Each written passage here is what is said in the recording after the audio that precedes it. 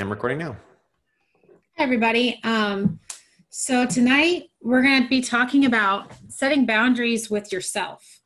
Um, so when I was, if you're not familiar with the, the topic of boundaries, you can go back and watch the introduction to boundaries video that I did a few weeks ago. Um, but as I was studying the topic of boundaries, and most of the study that I've done with it, with boundaries, has been with the um, with the book um, Boundaries by um, Cloud and Townsend, and that's pretty much the gold standard book for the subject of boundaries. They have a lot of knowledge and wisdom in there, and um, it's a it's one of the main books people read on this topic.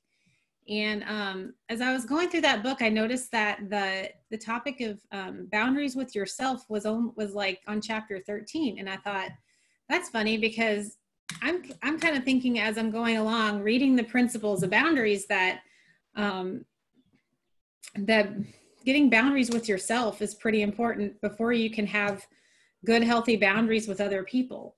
So I got to thinking, I think I'm going to address this one because we talked about um, you know, boundaries being all about taking responsibility for yourself, but not for other people. So let's look uh, more into that. Um, so when we're talking about um, establishing boundaries, um, a lot, most of it's about um, taking responsibility for yourself. And when you're thinking about um, your interactions with other people and the the choices that you make um, it's good to realize that you can't control other people but you can influence them. And the main way that you can influence people is by controlling yourself and your actions and responses toward other people. So you can't you know it's it's really important that you you know get get a hold on on the the ways that you respond to people and the ways that you act yourself um, and so when when you're setting boundaries with people it's important and with yourself it's important to take ownership over your thoughts and actions and then let other allow other people to to take ownership of their thoughts and actions and don't try to take ownership for them um, so it's important to remember that we are responsible for ourselves and to others that's a big major principle of boundaries. So now we're going to look at kind of what does the Bible say about this subject? Does the Bible um, have a lot to say about having boundaries with yourself? And I think it does. It, it says a lot about boundaries. And um, the Bible doesn't use the word boundaries, but it does talk about self control and discipline. And it's a really important concept because you have to have self control and discipline to be able to follow the principles and the standards that God has set forth for us in the Bible. Um, if you look at um, a lot of places in the Bible, God, it's pretty, it becomes pretty clear that God gives us the freedom to choose um, healthy and God honoring thoughts and actions, which can be described as can lead to life and blessings, or you can um, choose unhealthy or sinful thoughts and actions that can lead to death and curses. And we see an example of this when God is talking to the Israelites about um, the choices that they make. And he says in Deuteronomy 30, verse 19, I called heaven and earth to witness against you today that I have set before you life and death, blessing and curse. Therefore, choose life that you and your offspring may live so clearly, God has given us choices on the things that we can do. He lets us mess up and do uh, make bad choices, but He really strongly, strongly suggests that we make good choices. We live according to His standards because He in, He gives us a lot of instruction about what kind of standards we are to live by because He knows exactly what we need to live um, a good life. He knows the things that will give us life and not lead to death because he truly wants the best for us. God loves us and he knows that that um, living in a certain way that he's prescribed for us is going to lead to life. He knows that it's a blessing to to um, to bear his image through godly living. And he also wants to keep us from the destruction that comes from sinful and unwise living. Um, the Bible also, um, oops, I went too far. Go back. Um, the Bible also talks about how self-control is going to be um, one of the one of the fruits of the spirit that will produce as we as we walk by the spirit um, and we obey uh, jesus and what the bible tells us to do. Um, as christians i think most of us desire to be like christ and we want to please god in our actions and the things that we do. So if we want to do that it is very it is imperative that we become disciplined, self controlled people. We will produce good fruit if we are walking by the Spirit and obeying, obeying God. And one of the fruits produced by the Spirit is self control. Galatians 5 22 through 23 is says, uh, But the fruit of the Spirit is love, joy, peace, patience, kindness, goodness, faithfulness, gentleness, self control. Against such things there is no law. So those are the things that God wants to see um, being produced in our lives. And um, having self control is a big factor in producing good fruit. Um, and so I think it's important to to note that um, that God talks a whole lot about having responsibility over yourself and having self control rather than a lot of people have a weird concept of you know the spirit controlling them god controlling them and taking over. And that's not what god wants to do. He wants us to control ourselves.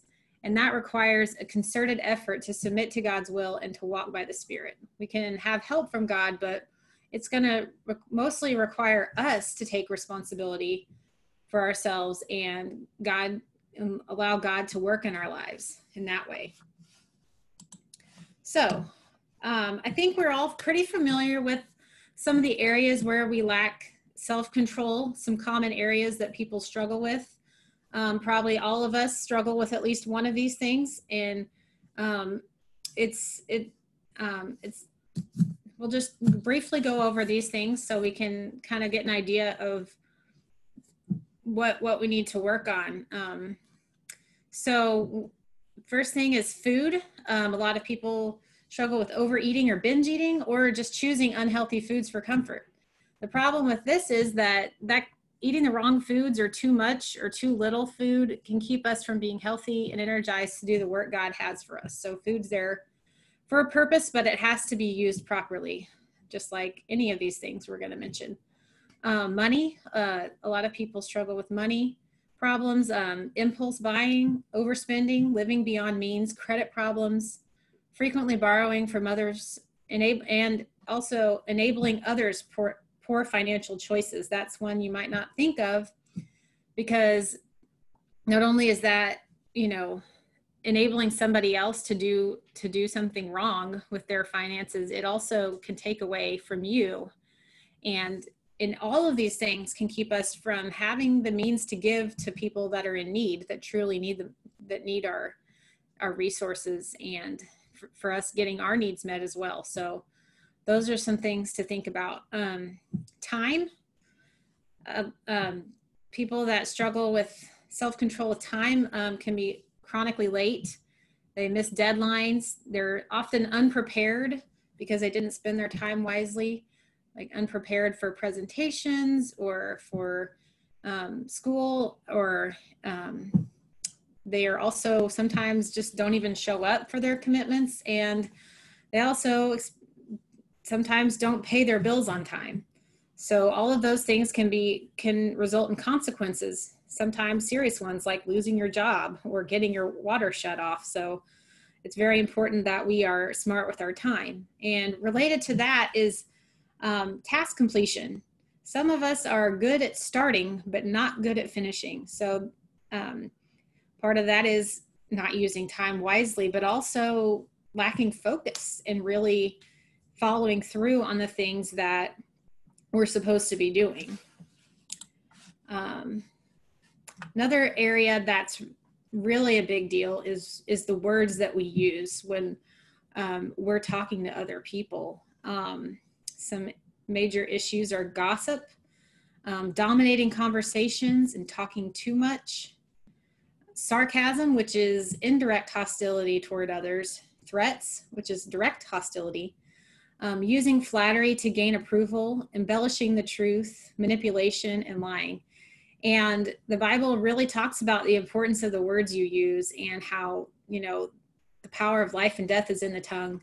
Um, and James says that. And if you say the wrong word, literally, you could, you know, that could be it for you. So, you know, you really have to be careful because you can, you can really encourage and lift up and benefit others and yourself through the words that you use, or you can really tear down um, be destructive and hurt others and yourself through the words that you choose.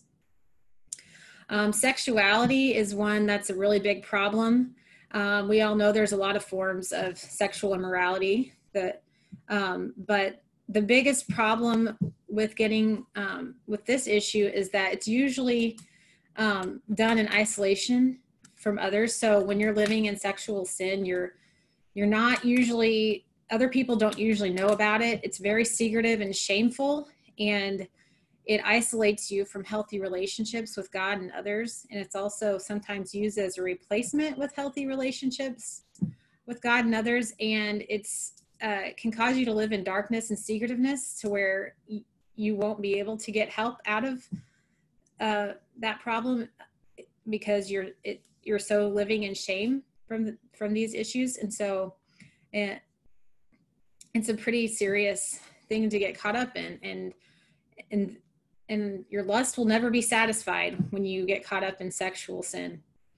One i i think um kind of relates back to the time thing. I just thought it was its own special category for our modern day um our modern day world is electronic devices. And these things are hard because they help us in a lot of ways but and we kind of need them to be able to function in the real world but they're also a problem because they're they're so easy to get addicted to um, social media online news being on call which is like being available for people all the time because you have your your phone with you and people are always if people are always able to to get a hold of you for work or personal reasons and maybe some apps that you're um, that you might have um, an out of control t- um, time spending on. The problem with um, allowing electronic devices to be used improperly is that they can distract you from relationships and more important tasks. I call these devices are designed to literally be time sucks for you. Sorry for the if that's not a nice word, but it, it's they really literally suck you in to where you you just can't stop it's they're they're designed for that because they want you to keep spending more and more time on these um, apps and and uh, news sites so that they can make money the people that make these uh, that make these products so it's really important for you to have some healthy boundaries around your electronic devices and it will take a, a extra work because it's just really designed for for to um, get you hooked on it um, and also, obviously, uh, substance abuse is a problem. You've got drugs, alcohol, etc. So, um, those cases, you're usually pretty out of control when you're addicted to those things. So that can take a lot of ex- that. That's something that will cause uh, require a lot of help to get out of if you're struggling in that area. Okay, so it's really important when we're trying to get boundaries with ourselves that we we have to learn how to say no to ourselves um, so it's the problem is it's sometimes harder to set and keep boundaries with ourselves than it is to set and keep boundaries with other people um, and so it begs the question why doesn't our no work on ourselves um, and cloud and townsend address this issue in their book and they say there's three reasons three main reasons why our no doesn't work on ourselves. Number one is we are our own worst enemies. An external problem is easier to deal with than an internal problem. It's way easier to address something, sometimes it's way easier to address something with somebody else um, a problem you have with a person or set boundaries with them than it is to deal with the fact that you are the problem. You have an issue, an internal issue that you need to deal with. That can be harder. Um, number two, it's hard because we try to we try to um, do these things set boundaries with ourselves outside of relationships when we really are struggling in an area we can often withdraw from the relationships that we need and be stuck in secrecy and isolation. And those things being um, secretive and in isolation can keep us from having the accountability and help that we need to overcome our personal struggles with self-control. Um, so it's really important that we we keep that in mind that you know that we we need to get into some good healthy relationships and the third problem is that we try to use willpower to solve our boundary problems. Um, a lot of times you know some people just say i'm just not going to do this anymore. Well the problem is you just can't you can't just stop it. If you can stop it you already would have stopped it. If it's just as easy as saying i'm not going to do that anymore um, then if it was that easy, you could have already done that. The problem is the boundary, boundaryless part of our, of our souls rebel rebel against the, the willpower to disengage from an out of control behavior. So um, I've looked at some studies that have shown that willpower alone doesn't work. So um, just in the moment being like, okay, I'm not going to do it right now. A lot of times if, if we don't, if we're not prepared ahead of time, when we get in the moment, willpower is not going to be enough. So that means that having self-control requires some some forethought and major effort as well as submitting to help from God through his spirit and some help from other people as well. Um, so the first step to um, to establishing healthy boundaries with yourself is you first need to identify your boundary problem or problems. So here are some things you want to look at. First, what are the symptoms? What are the things that are showing up in your life because of this boundary problem? Are you experiencing depression, anxiety, rage? Um, look at the, the things that are that are happening within you that can help you kind of see see what what's going on with you. Um, and look at number two, what are the roots? Um, there's always something underneath the problem that the problem is not the problem. The problem is something underneath it that that um, is causing you to be out of control in certain behaviors. Um, some possible roots of, of, bounded problems are lack of training, um, rewarded rewarded destructiveness, meaning other people are kind of bailing you out for um, your behavior. Distorted need, you may have a legitimate need that you're trying to fill, fulfill in an, in an unhealthy way fear of relationship, unmet emotional hungers, um, being under the law, trying to do things your own way, which actually, you know, doesn't actually help you. Maybe you're being too too strict on yourself, um, and covering emotional hurt. All these things can be substitutes for healthy ways to to handle um, life's problems. number three, ask God what what's the boundary conflict? What what is the problem here? And God will give you insight on some of the other uh, the areas of your life that you need to to work on that you're out of control in. Number four, ask yourself, am I taking responsibility for this? Who needs to take ownership? It's you. You've got to take responsibility for your out of control behavior before you can start to address it. And number five, what do you need? ask others for insight and help. And having these deeper relationships are going to is going to be vitally important to getting to the root of your problem and also ha- finding some good solutions that can help you have a healthier um, relationship with God and relating more healthily to uh, and, and dealing with life as it comes. So then next you'll um, after we've identified the problem and you've taken personal responsibility for it, you can begin to set and keep boundaries with yourself. Um, so here's some some practical steps to to um, start practicing healthy boundaries uh, with yourself. First, um, address your real need. Um, we just kind of talked about how a lot of times the root of the problem is that you have a legitimate need that you that you are trying to fill in an in an unhealthy ungodly way. Um, when you think about addictions really why are, why do people get addicted to things um, to substances or and what is what is at the root of that? Addiction is pain management is what it is. The reason people get addicted to substances or uh, relationships or sex is because they're trying to to ease their pain. They're trying to heal from their pain but it's not working. It's actually adding to their pain.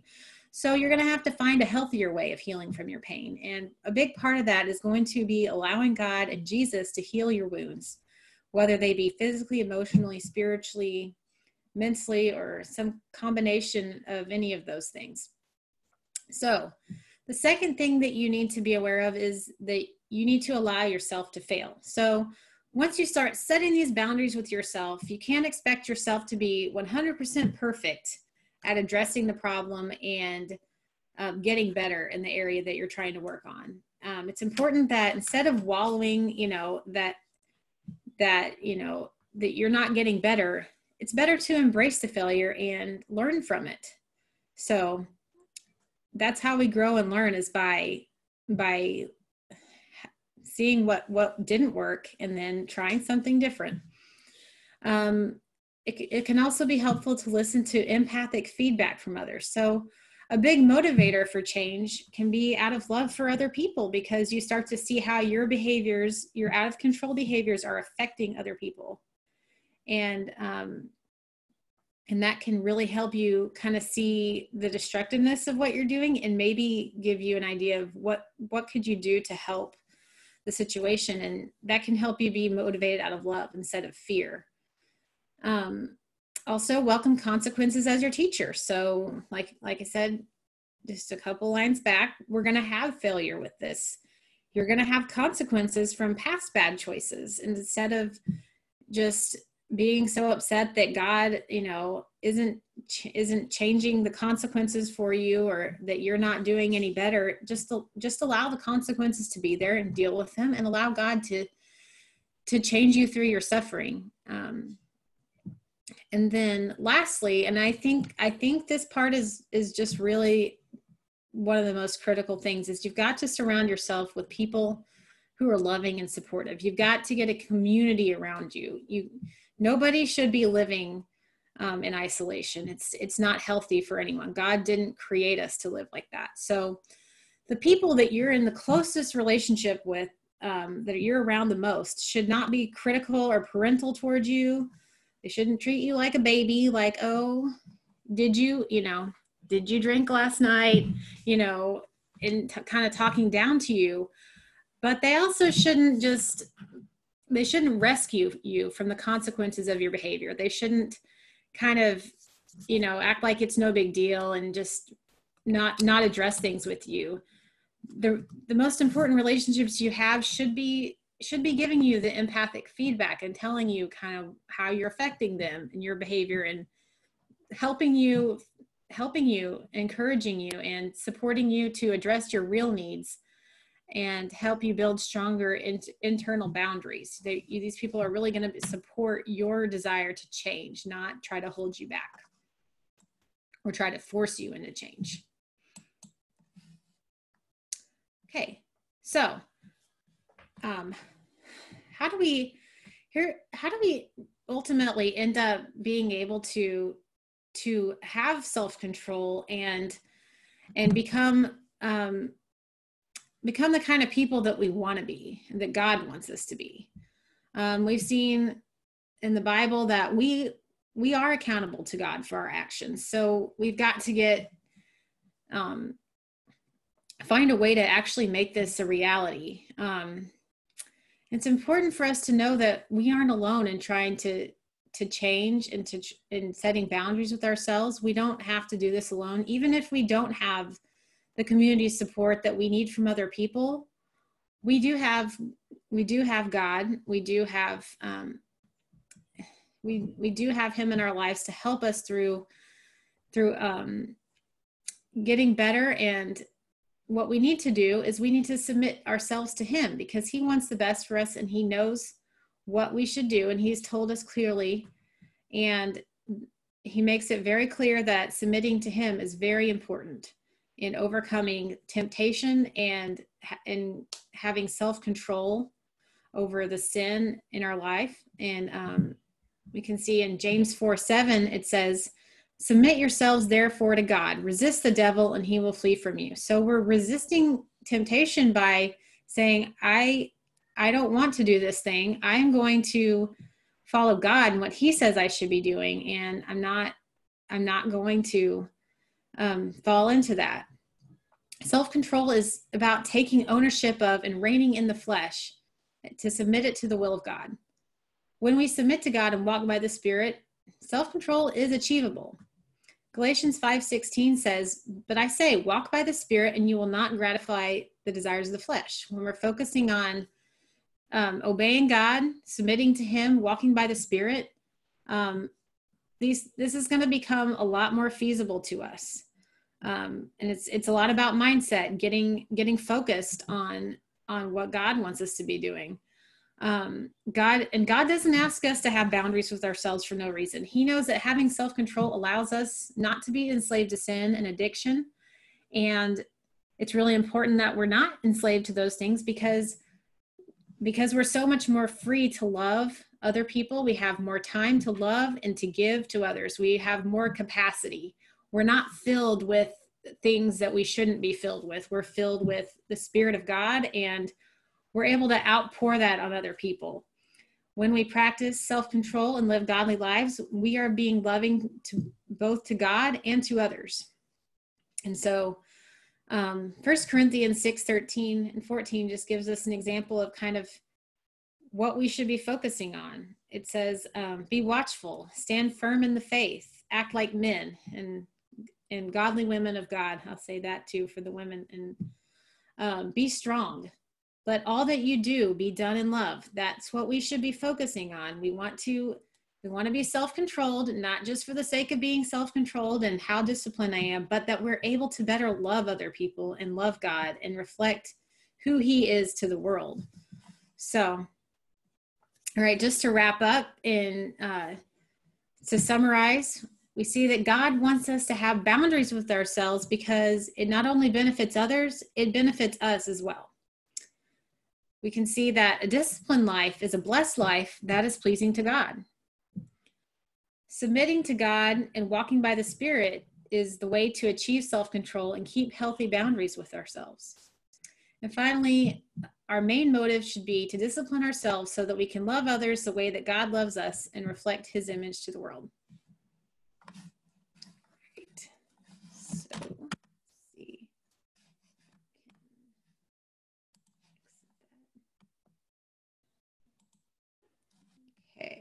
Me go back here.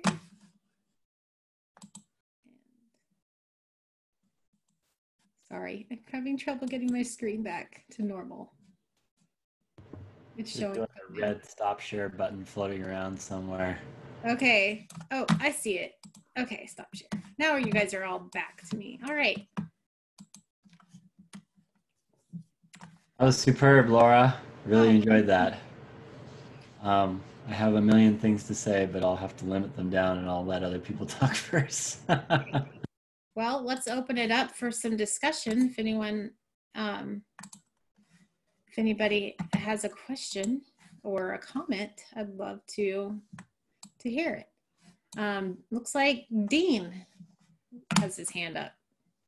This is really an excellent teaching, and it's really applicable to every area in life with ourselves and with other people. I can see that this is the primary teaching that people need to hear who are struggling with anything.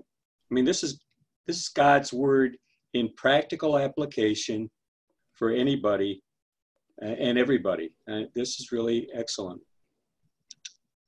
Thank you, Dean. Um, Donna, you had your hand up.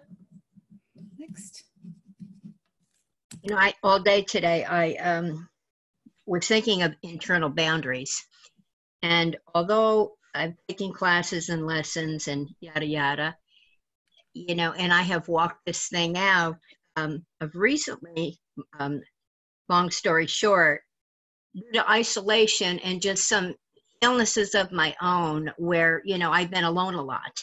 Doesn't mean I'm not talking to anybody and being online. It just means that I'm in a different position. It's so easy to be blindsided and um, when you don't have interactions with people on a daily basis, I want to say how incredibly hard this is for our world today, not just with the uh, you know the COVID virus, but um, all day long I have been kind of funny, Laura. Uh, this is so apropos. All day long I have been reading about the mouth and words and um, taking some reproof in from the Lord because you know I messed up royally with a friend of mine yesterday and I shocked myself um, she went too far in blabbing with her mouth, you know, in detail over this, something that is incredibly important to me, the battered woman. And she, you know, showed how ignorant she was. And I became so triggered in this conversation with her. And instead of backing off like I usually do, I went, I became hysterical. I don't know myself to be this way, but I just I just let her have it. I just said, you know, for 10 years and I just was so you know, although I was truthful, I was not coming from a place of love. And so, you know, of course, you know, this woman knows me and it's my way of being to write notes and, you know, to talk about my reproof and to use my lessons of reproof, you know, for myself that I take very seriously when I'm reprimanding myself, then I don't need to be judged in eternity, you know, um, before Jesus. If I can catch myself and self correct and know my own sin and know where I need to grow, and I don't have, you know, somebody, well, Donna, you should do this. If I have that, um, if my uh, educated conscience signals me that I have sinned against a brother or a sister and wounded them, I certainly have to go back and clean that up, um, you know, and not do that again. And so I felt so grieved today that I missed the mark. I really cried. I felt so bad that I, I did it to myself. So anybody feel sorry for me. When you need a whooping, you need a whooping. And I think that there are times where you do. So, you know, I'm, you know, I spent all day today in the Bible doing verses, writing them down about the mouth and about the heart of kindness that I should have. And so I'm teaching myself, you know, if you can't have a conversation because you're too emotional, please don't have one and back off. If you feel that you're healthy enough to, you know, maybe help someone. But I definitely picked up a few things, Laura, that you shared tonight and taught tonight that I need to, you know, improve in boundaries. And you know, I am no one's parent. And so I, I, you know, I think I take this role sometimes. And so I'm in the motion of self correcting. I don't want to be a failure in love. I don't want to hurt people. But when I do, I always want to feel it. I always want to feel that reproof because that's how you catch yourself and you're honest about it. And then you don't want to continue in that behavior and you want to improve and you want to be able to be you know very honest with with others too about what where you're at and what you can and cannot deal with so you know thank you for just letting me come right out here no mask on and use this as an opportunity you know it's a teaching moment you know for all of us you know in where we're at but you know i'm not hiding in the shadows here you know i'm just all out there because I need that accountability. I need that correction and I need that growth. And, you know, I can't use my, well, I'm isolated, I'm all sick. Well, then you shouldn't be on the phone talking, trying to help somebody else if you can't even manage yourself, you know?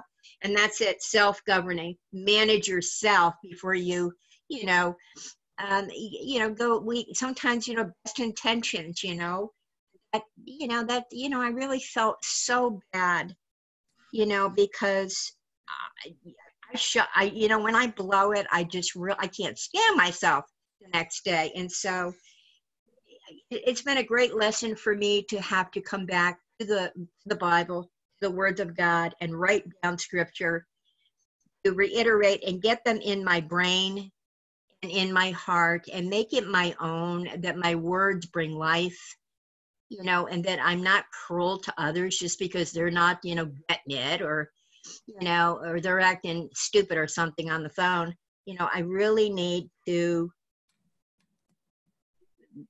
godly, more loving. So thanks for letting me share. Yeah, thanks, Donna. That can definitely be challenging. So, yeah, just being being aware of it and you know learning from from your mistakes, I think, is one of the best things you can do in that situation. Um, I think John Sant, you were next. Yeah, thanks. It was really, really well put together. Uh, and I don't think any Christian who's really trying to follow Christ, you know, would say I didn't need to hear that.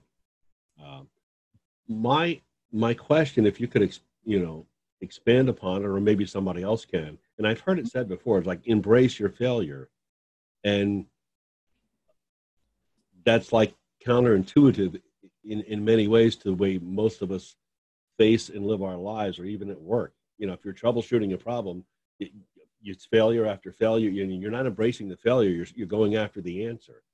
And same with uh, i think with well for me like i used to smoke but i quit like about 30 years ago.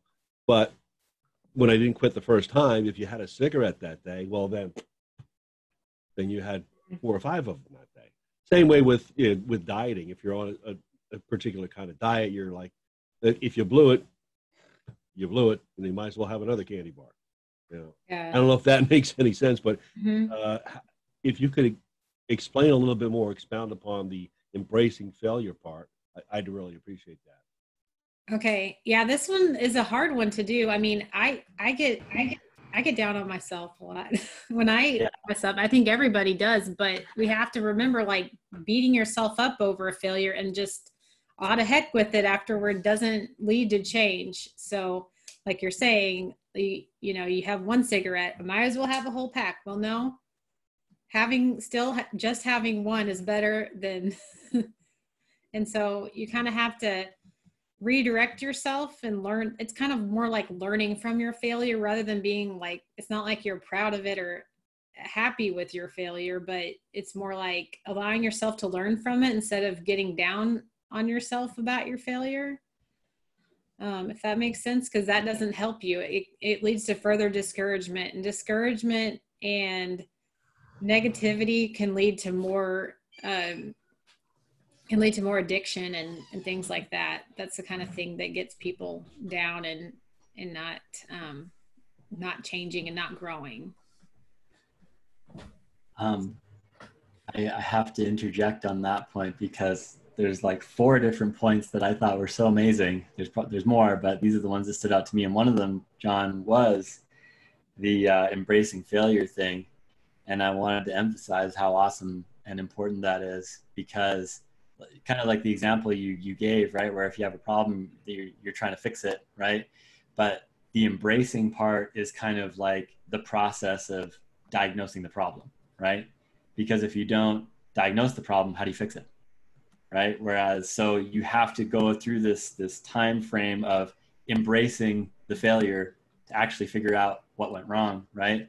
And um, this is something that is just so powerful because if people try to hide from their failures or minimize their failures or ignore their failures or uh, you know talk themselves out of being appearing to have failure whatever it might be all those things are are self you know um, self-sabotaging because then you can't fix the problem if you deny it's there. You can't fix the problem if you minimize it and make it a little bit more amenable and a little bit less embarrassing or whatever it might be.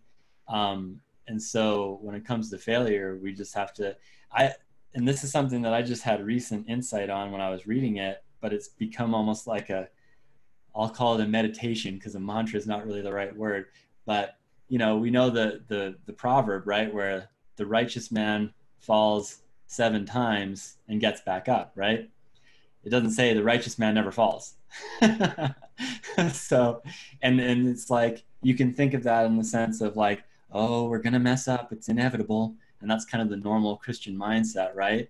But I think that's the wrong way to look at it, because of course it's not that that's wrong, it's not that that's untrue.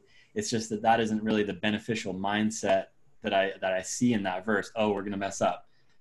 That's why would why would the scripture just say something obvious? You know what I mean?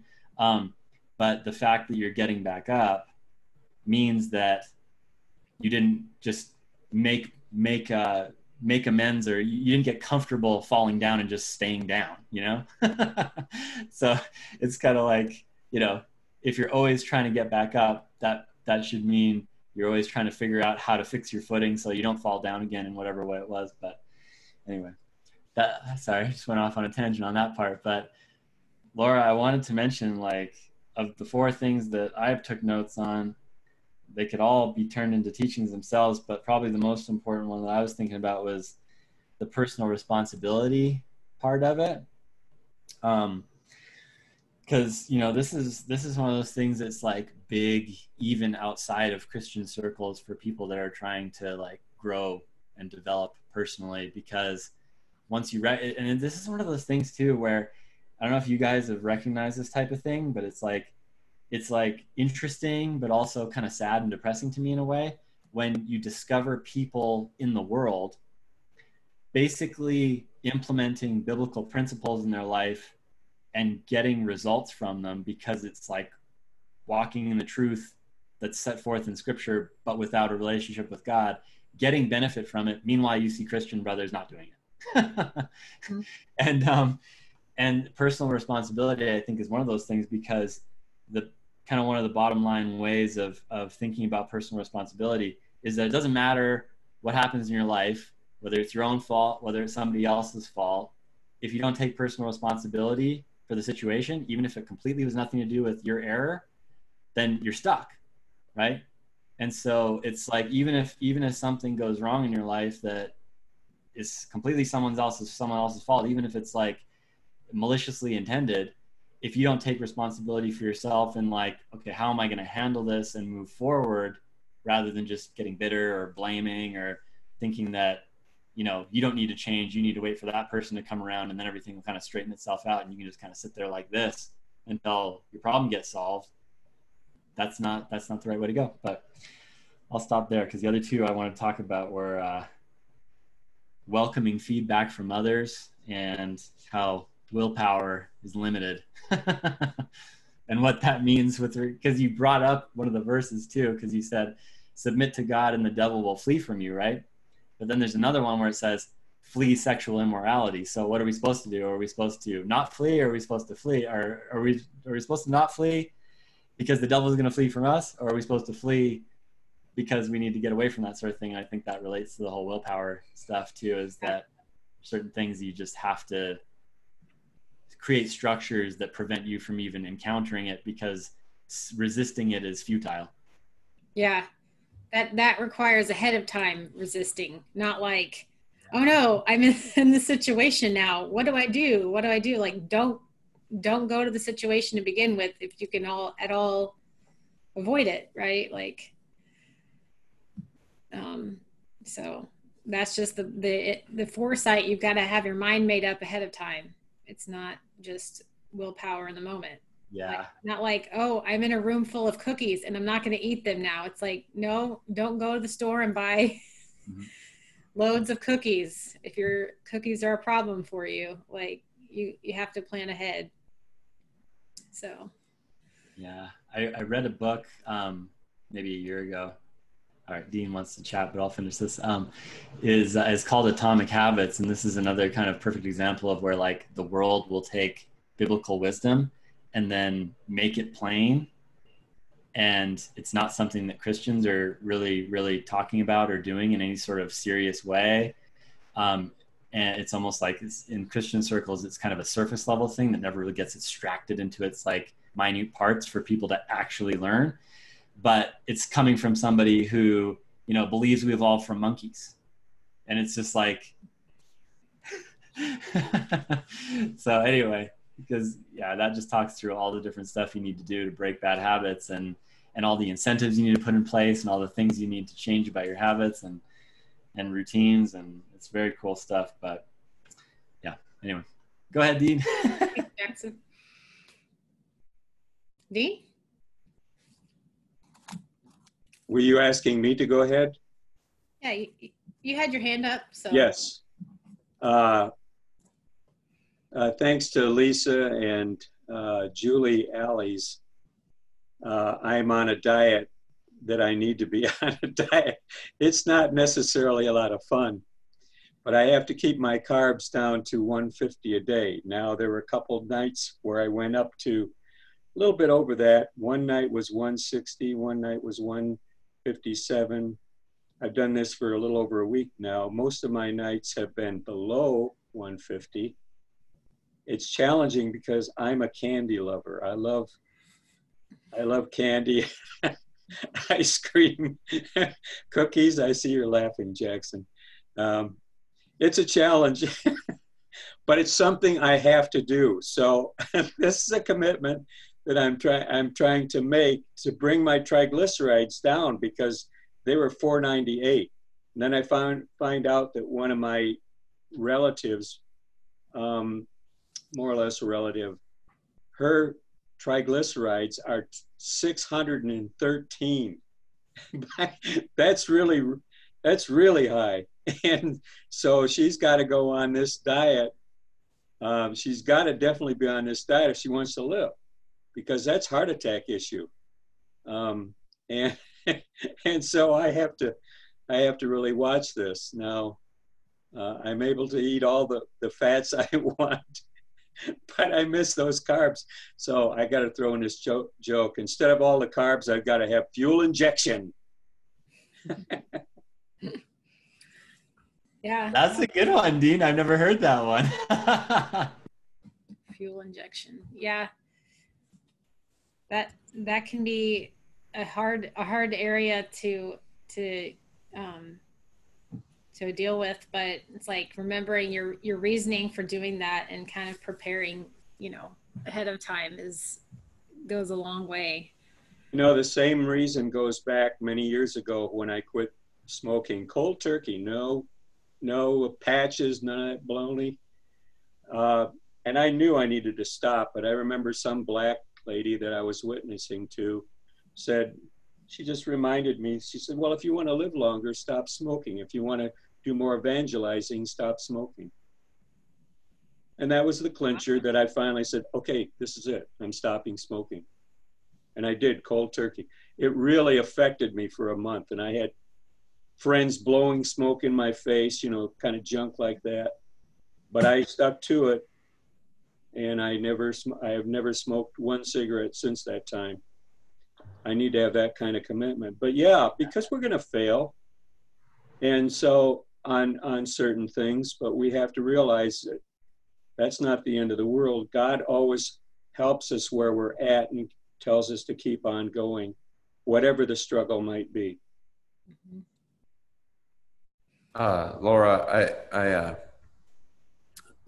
you, you had mentioned several times about, you know, relying on God's help, uh, you know, pray, praying and walking by the Spirit to, to help with self control. And I was reminded that uh, one of the fruits of the Spirit is self control. And so I was just looking at that section and I realized, you know, the, you know, you kind of look at the whole section, it's, it's really interesting because it, it starts off in verse 13 for you were called to freedom, brothers, only do not use your freedom as an opportunity for the flesh, but through love serve one another. For the whole law is fulfilled in one word you shall love your neighbor as yourself. And, then, you know, he's got, he's, you know, he's going to go on and talk about this, but if I, you know, I'm keeping that you, that he's, he's told them, this is the way that you need to be. You, you shall love your neighbor as yourself and in verse 16, I think that it's so tiny. Um, uh, he says, But I say, walk by the Spirit, and you will not gratify the desires of the flesh. Right? And, and I, I was thinking that you know, so much of so much of our lack of self-control has to do with you know desires of the flesh you you know you you're you're acting out of you know you talked about you know addiction right? And you're you're trying to self-medicate with addiction right? That's a desire of the flesh is i've got pain and i want my flesh to not be in pain um you know as opposed to you know some other uh, other thing, but the that all of that stuff essentially boils down to some form or another of selfishness, of not respecting, you know, when it's time related, not respecting other people's time, right? You know, being selfish in that way. And um, then he goes on. So, so if we walk by the Spirit, we will not gratify the desires of the flesh. And he says, desires of the flesh are against the Spirit. Um, desires of the Spirit are against the flesh they're opposed to one another. But if you are led by the Spirit, you are not under the law. And then he gives the works of the flesh, right, which are all things related to lack of self control. And and then he says, I warned you before that those who do such things will not inherit the kingdom of God. He says, but the fruit of the Spirit is, and he gives all these ones, but self control is the last one he gives in the list. And I thought, oh, that's interesting. Um, and against such things there is no law. And those who belong to Jesus, uh, to Christ Jesus, have crucified the flesh with its passions and desires. If we live by the Spirit, let us also keep in step with the Spirit. And I just keep seeing over and over here in this section that you know the key to overcoming anything like that i mean yeah sure okay you can you can have something in your life that by sheer willpower or you know through your you know through consequences or whatever you fix in your life. But the reality is we all have lots of these different things that we we have trouble with self-control in. And i was thinking the other I, am not going to ask you to do this but um, the thing that i was i was wondering about maybe we can deal another time with is is help with recognizing when you lack self-control and you don't recognize it. And even when you have consequences from it you're in self-denial about it. And even when people tell you oh you do this thing right? And then you do it anyway and you don't realize you do it. You may know you may have head knowledge that you do it but you don't recognize when you're doing it. Um, and I think we all experience that to one degree or another. And yet, Paul, you know, over and over again, um, if we will crucify the flesh, in other words, we're not going to live to ourselves anymore. Like Jesus said, you know, basically, you know, you have to die to live, you have to die. Mm-hmm. And that if we'll do that, if we'll crucify ourselves and instead submit ourselves to God and walk by the Spirit, that um, a fruit from that will be self control.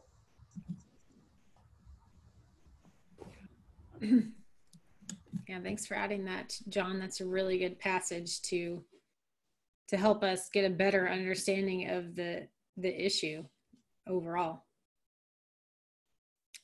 Jackson, you had your hand up again?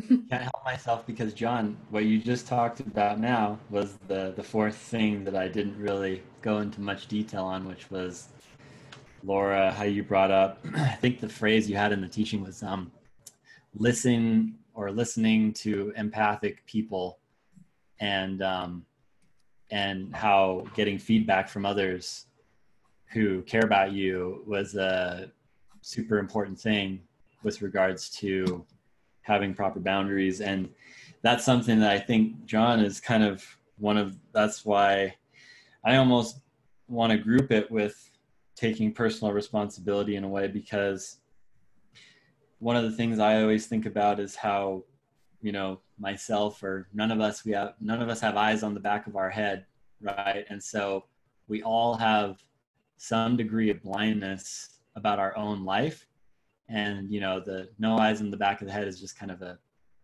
a mind picture for that But the reality is that it's not that we can't turn our heads around and look behind us. It's that each of us has our own personality that has certain bents and certain strengths and weaknesses. Each of us has our own family history where there was like different norms imprinted on us that can be awesome or can be terrible or somewhere in between. And um, and if we end up in a community of people and then we're not willing to say, hey, um, I feel like I'm not the best at this, or the results I'm expecting aren't coming in this area. What do you guys think? And then getting people's honest feedback that see things with a different set of eyes, from a different perspective, with a different background, with a different personality, and getting that multitude of counselors around you. It's like that's hyperspeed hyperspeed personal growth, right? Because if you think you can just grow by yourself, well, that's unbiblical, but um, but it's like one of those things where you you have to be willing to invite it, and you have to, and then the, this the other point you made on the same slide at the bottom where you have to surround yourself with people that are loving and caring and that sort of stuff, so that you can trust that they're they have your best interest in mind in the same way that God would, and you can be willing to subject yourself to their opinions, even if they're uncomfortable, undesirable, or uh, challenging, right? So. Mm-hmm I loved it, Laura. I loved it. Thanks, Jackson. Yeah, that community aspect. I'm not going to stop talking about how important that is because it's just very, very important to this. Um, Edgardo? Yes, good morning. Uh, good day to all of you. I missed the topic, but uh, I just want to add a verse uh, to the verses that uh, John Truitt have just read a while back. Second Timothy chapter 1 verse 7, the kind of spirit that uh, we have in ourselves, uh, according to Apostle Paul, it's uh, it's not the spirit of fear, but of power, love, and self-control. And as regards to failure, if you are afraid to to fail, you are not worthy to succeed to succeed to, suc- to succeed you know. Uh, failure is uh, part of uh, living a meaningful life. Uh, it's not really that easy to face failure but according to dr schuller uh, failure is not a failure. It does mean that you have to do it in another way you have to invent uh, another way to be able to succeed. But uh, in the scripture, we know that God is faithful.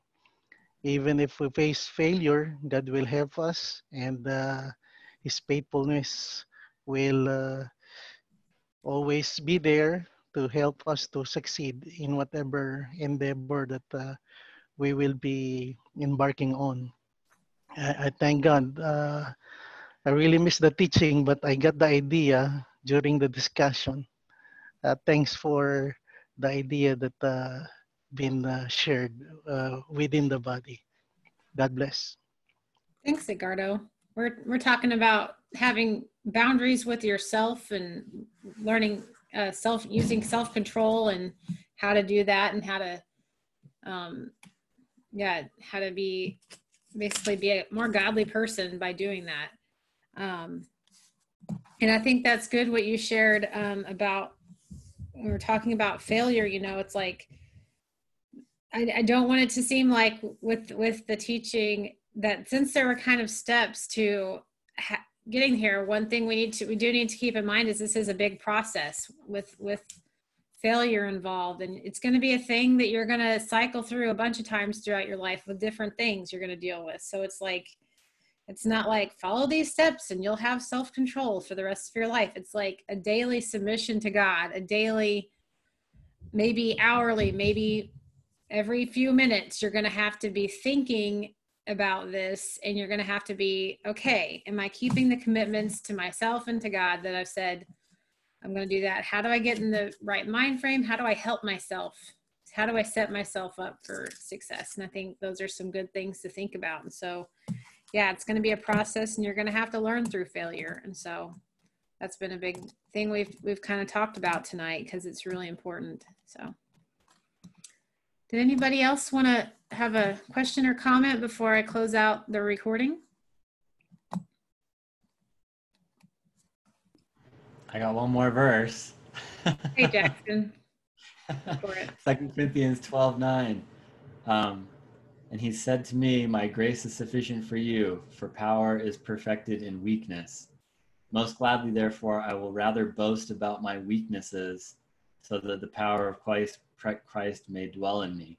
So that to me speaks of embracing failure rather than pretending it doesn't exist, right? Yes. Um, that's that's a perfect verse and it's one of my favorites. So definitely just being letting, you know, letting Christ be strong where you're weak and and allowing him to work in your life, I think is is a great thing to think about when when you're trying to deal with these issues. All right, Tony, let's let you have Yeah, this word Yeah, here. I just uh, when I was thinking about self control, um, made me think of how Olymp- Olympiads, how they uh, get up every morning, their their um, uh, diet is balanced, they work out parts of their body that um, you know that that's weak, and strengthen the, the ones that are strong, and get the right teaching so they can uh, learn how to compete and win. And then it reminded me of what Paul talked about in First Corinthians nine he says, Everyone who competes in the games exercise self control in all things. That they do it to receive a perishable wreath, but we an imperishable. And it just it to keep your eyes on the the main goal is is uh, helps me. You know, n- not bulletproof, obviously, but it does help me to uh, to put things in perspective.